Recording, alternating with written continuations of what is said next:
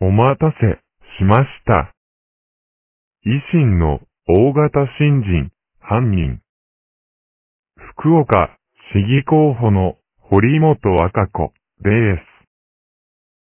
福岡の堀本赤子です。次の福岡市議選、ライバルの自民党議員を統一協会だから打ち取りましょう。で。全くのでたらめ、絶造、なんですね。し文書偽造で逮捕されました。維新はよくこういう大型新人を見つけてきますね。